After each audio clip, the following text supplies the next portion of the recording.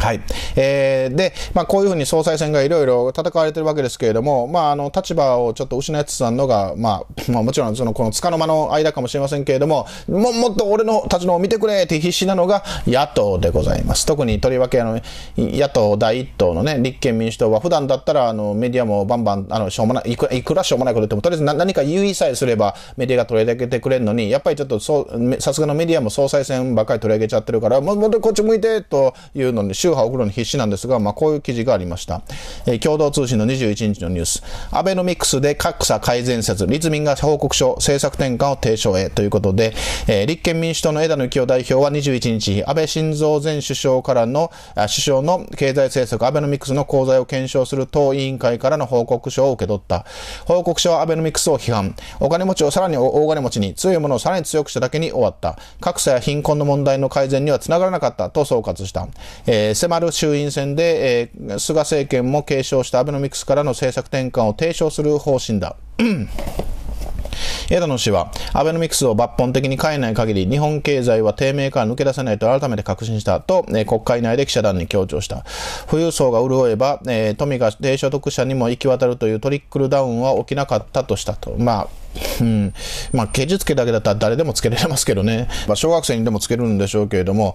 あの、肝心なのはそうじゃなくて、まあ、ケチをつけるのはつければいいんですけれども、ケチをつけた上で、あなた方が何をやるか、あるいはそれをやるぞって言ってることができるっていう保証がある、あるいは能力的な信頼があるかどうかってことでしょ？ね。なんだかんだ言ってもね、日本がさらに貧しくなったとはちょっと言えなかったわけですよ。日本がさらに貧しくなったんだって、なんかこう、あの、生活保護をあのもらわざるを得ない人が増えたとか、そういうのだったら、もっと強調して書いたんですけど、そうじゃなくて、金持ちが大金持ちになっただけじゃないかって言うんですが、金持ちが大金持ちになったのもこれ大変な成果じゃないですか？いや、そそうなった、な、なればいいって言ってるんじゃなくて、金持ちがそのままなんじゃなくて、金持ちが大金持ちになったとすれば、それはそれで経済の成果じゃないですか？ね、ありがたいことです。で、そういう人が、あの、税金もちゃんと納めるわけですからね。で、えー、しか、で、それがまた格差が広がったみたいなことを言うわけですけれどもですね、まあ、格差自体は、格差広がった広がったと、あの、さあの、なんかこう、勝手なことを言うだけじゃなくて、例えば、ね、あのよその国というか、世界でど、れぐらい、世界の国々はどれぐらい平均に格差があって、それに対して日本はどうかとか、そういうふうな言い方をしてくださいよ。別に他の国が格差あるんだったら日本格差あってとは言いませんけれども、ね、あの、普通に いろんな国から日本を見たときに、本当に日本は格差の少ない国だねと羨ましがられてる。それをさら、なんかそれでもね、いやいや、我々は格差がゼロになるまでやるんだみたいな感じで、ね、多分こういう人は本当にね、格差がゼロになるまでは文句言い続けますよ。で、そのも格差をなくすことだけが目的になって、ってもっと大切なことを見失って、あの、まともな経済政策もほったらかして、格差是正、格差是正と、なんか、何かの一つ覚えみたいな感じで、えー、わ、わめき続けるというのがもう彼らの、なんか、行き継ぐところなのかな、という気もしますよね。はい。で、私は私はあの、Facebook、あツイッターとかでもですね、まあ、あの、なんか、あの、草野球の選手がプロ野球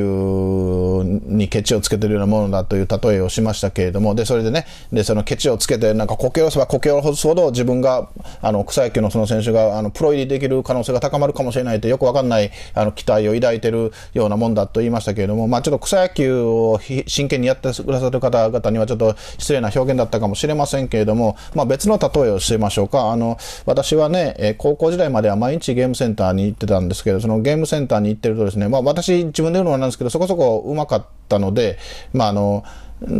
ゲーセンの大会で優勝したりもしてましたからですね。で、あの、いろいろ連続技決めたり、難しい技を決めたりとか、いろいろするわけですけれども、プレイ中にね。で、そしたらそのプレイの後ろからですね、なんかこう、こっちがちょっとたまに、ちょっとたまにミスったりした時とか、あるいは場合によってはもうミスってもいいのに、あ、今のとこはこれ、これすればよかったんだよとか、今こう、こうだったよねとか、なんかガチャガチャガチャガチャ言ってくるやついるわけですよ。で、あの、当時、当時ね、あのーそういう格闘ゲームをする人たちが、まあ、しょっちゅう読んでたゲーメストっていうね、あの雑誌があるんですけれども、そのゲーメストでも なんかこう、格闘ゲーム用語辞典っていうちょっと付録みたいなんで、その用語があったんで、そういうなんか、後ろからガチャガチャだけ言ってくるやつはね、解説君っていう用語があったらしいんです。だからそういう解説君がね、で、解説君がいてガチャガチャ言ってくる、まあまあ、当然聞こえるように言われたらなんか鬱陶しいわけですけれども、で、その用語集にはこう書いてありますね。解説君の特徴として、自分では絶対にプレイしないのが特徴で書いてあったんですよね。まさに彼らでしょ？自分は政権担当しないけど、文句だけ言いますと。文句だけはもう一丁前に言いますと。いや、あの、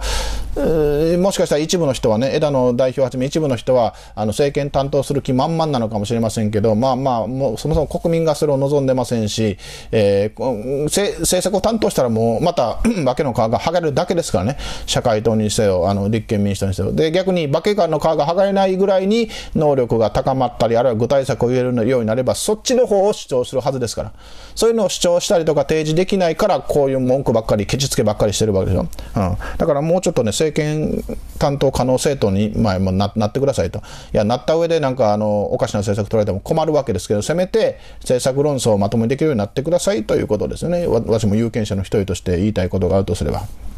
で、あの、こんなん見てもう相変わらずだなとか思ってたら、あの人が、あの人がね、野党のことをバシッと言ってくれたわけですよ。あの人とは誰か。はい。えー、たまに正論を言うと、こっちもびっくりしちゃいますけど、あの、この鳩山幸夫氏でございます。はい。鳩山幸夫さん。ね、なこれどういうことを言ってるかというと、はい。えっ、ー、と、ツイッターにですね、えー、困難にぶつかると自民党は情でつながり、激しい勢力争いは表に出さず、総裁選でも仲間の悪口は極力避けるので、国民に安心感を与える。一方、民主党は困難が生じた時、あいつが悪いと、えー、仲間割れが生じて内毛場が発生した。身内を収められないならば国民を収められるはずもないと、えー、国民は見抜いたのだということで、えー、これはですね、えっ、ー、と、19日のツイートですけれども、分かってるじゃないかと。ね、いやいや、まあ、あの、鳩山氏が、その鳩山内閣の時に経験したことをもうそのまま書いただけなんでしょうけど、いや、その通りなんですよ。で、その通りで、でで別にあの、これもね、じまあ、自民党を褒めてるわけじゃなくて、まあ、情でつながりというのは、つまり、まあ、なんか、あの、自分たちに都合の悪いのは、見と見苦しいのは見せないようにするということで別に褒められたことでもないのかもしれませんが、で、もう野党はそれ以下だと、まあ野党というか民主党ですね。で、でここでも民主党とは言ってますけれども、立憲民主党のことじゃないですか、この後継団体、後継政党としてはね。そうか、鳩山幸夫さんはもう民主党とは関係ないのか、あの、菅直人氏とかはね、なんか立憲民主党最高顧問とかなんとか言ってますけども、鳩山幸夫さんはそうだそうだ、あの、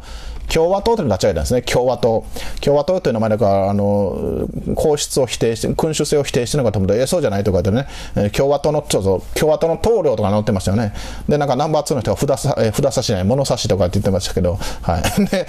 物差しって、うん、で、で、鳩山幸夫棟梁がですね、こういうことを、まあ言ってるというか、国民は見抜いたのだってね、我々は見抜いたのだ、うん、見抜いてましたけどね、はい。我々が普通に見抜いてたことが、鳩山氏に見抜かれちゃったみたいな感じで、まあ、鳩山氏はもっと国民を馬鹿にしたんでしょう。なんか、あの、美味しそうなことばっかり言ってね、あなたにお金あげますよとか言ったら簡単に騙せると思ったら意外と早く見抜かれちゃった、残念、みたいなのも若干にじみ出てるのかもしれませんけれども、まあ、これはこれでその通りですよ。はい。だから、まあ、こういうところで、やっぱり、あの、鳩山幸夫さんが、さえもちょっとそういうふうに言わざるを得ないぐらいに、まああのまあ、立憲、まあ、民主党の後継政党である立憲民主党はちゃんちゃんと気をつけましょうねということなんでしょうけれども、まあ、やっぱりこういうね、あの 総裁選の時は、まあ、もちろんね、以前の時のように石破さんが総裁だったらいいのにとか言うと逆効果になるということがもうもう理解したから別、別方法で、えー、立憲民主党さんもこう頑張っているのかもしれませんけれどもですね、なんかもうアベノミクスを必死にいたけば、なんか自分たちの相対的評価が上がるとか、まあアベノミクスだけじゃないです。自民党政権のケチをつければ自分たちの相相対的評価が上がるとかね、そういうあのせこい考えはもうそうそうやめて、本当に政策論争してください。自分の政策をちゃんと言ってください。ね、しかもしかも現実的な、ね、非現実的なんですよ、あなた方。うん。だからそそういうのをちゃんとあの最低限できるようになってから政権交代とかなんかそういうことを言ってくださいねねという感じでございます。